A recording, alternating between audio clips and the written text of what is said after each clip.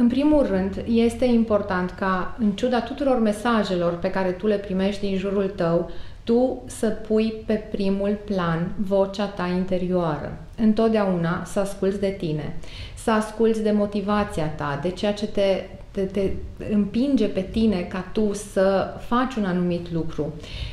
să asculți de mesajele pe care tu le primești în interiorul tău și să pui în practică acele lucruri pas cu pas.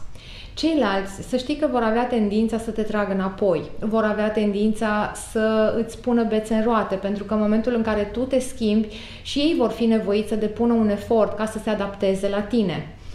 Dar, așa cum ți-am spus și mai înainte, cei care te iubesc și care te prețuiesc cu adevărat se vor bucura pentru că tu ai devenit cea mai bună variantă a ta și vor fi inspirați de tine în momentul în care tu îți vei atinge obiectivele.